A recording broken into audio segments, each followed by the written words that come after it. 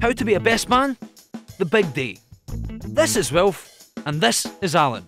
Wilf's getting married, and Alan's going to be his best man. We get stand up comedian Dominic Holland and author of Best Man for Dummies, Dominic Bliss, to give them their top tips on how to be a best man.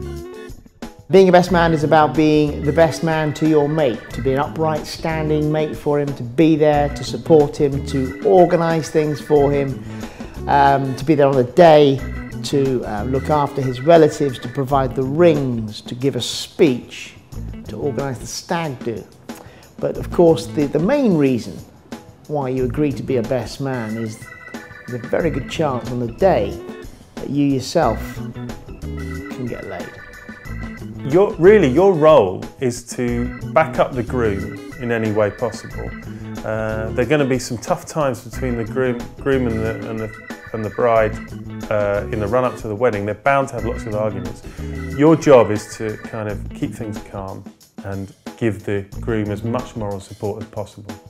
So your, your groom is going to be very, very stressed the night before, and my way of, of de-stressing my groom is to offer him a good old rub, a good rub down. Tell him that you're going to be his best man that night, get naked with him, and give him an offer him a really good rub. And you'll find most grooms won't be up for that, and they'll realise that that's going to be possibly worse than tomorrow, so that'll they'll relax. There are going to be two scenarios. He's either the groom is either going to be with you and his ushers at the at his parents' place a big family dinner, or it's going to be you and you and the groom and the ushers elsewhere, maybe near the groom's house. Either scenario, you got to you got to be involved. Um, but a good little tip: if you're round at the groom's family's house and he's getting a lot of jip from his family, get him out of there afterwards and make sure that he's as, as de-stressed as possible make sure he gets up early on time, have lots of alarm clocks. You may have to get him dressed. This guy's going to be nervous. You, you may literally have to be tying his tie for him. Shirt, tie, you're going. You know, there's no makeup, there's no hair. If the guy has a hairdresser coming, you need to reassess whether he should be his friend. I mean, there will be grooms that try to run away. You need to ask the question, why is he doing this? There must be some valid reason for him to want to run away. So, you know, again, be supportive. You know, better to better to run away than get it wrong. Really good tip here on the on the run up to the wedding. You've got to make sure you've got everyone's numbers punched into your mobile phone. Make sure your phone is charged up. Make sure you've got money in your wallet for any situation. Make sure you've got a wedding schedule to hand to the ushers. Keep on top of everything and it will all go smoothly. Try and you know, punctuate the day for him.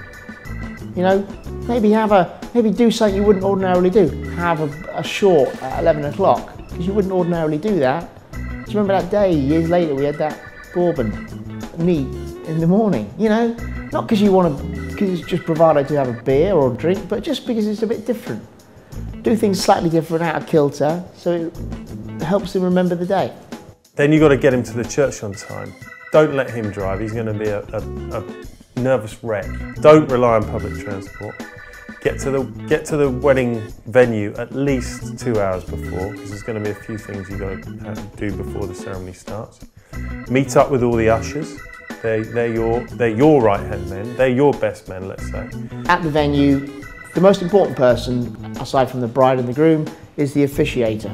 You know, the, the clergy, the vicar, the priest, or the registrar.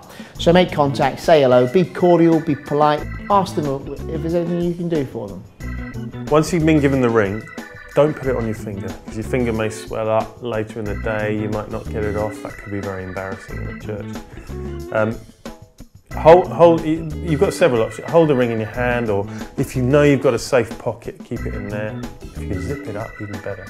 Um, but of course, you may be wearing a hire suit. You don't know. There might be a hole in the pocket. So whatever you do, make sure it's secure. I can't conceive of a best man losing the ring. Okay. You've been selected by the groom to be the best man. If you've lost the ring, you shouldn't have been asked in the first place. So really, it's the groom's fault. One piece of advice I'd say is have a spare ring. If you do lose the ring, at least you've got a backup. Whatever you do, don't try and wing it on the day when it comes to the relatives. You've got to get to know who, these, who these people are so that not only can you help out with the photographer, so when he asks for the aunties and the uncles to come along, you know who you're dealing with. But you've got to, you're the main fulcrum between the, the, the, groom and the rest of the wedding. You've got to know who these people are, so memorize their names. Um, things can go wrong at weddings. As I said earlier, you've got dysfunctional people together, perhaps for the first time in years. Families, you know, there's issues in all families. Calm it down, be aware, don't allow it to kick off. People can get really drunk too quickly, you know, and say the wrong thing. Because the wedding could be at 12, dinner could be at three. If I see someone getting too tanked early doors, maybe just ask them to calm down. Suggest he calms down because it's a long day. You know, tell him you've got my speech to look forward to. It's going to be a belter. To define the best man's job, he is a facilitator. That's his job, and it's to, to deal with all eventualities as they occur. It could be a fight, it could be someone crying, it could be someone fainting, but the best man has to really try, if he can, to have as, as broad a vision as he can for the day, for eventualities. So as they occur, he can step up and not ruin what should be the most important day in both their lives.